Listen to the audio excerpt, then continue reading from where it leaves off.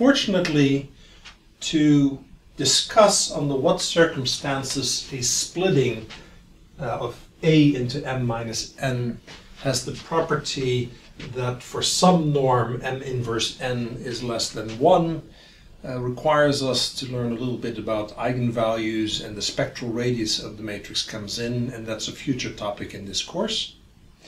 So uh, we're going to defer on that. However, you can sort of contemplate, hmm, under what circumstances is m inverse n in norm small?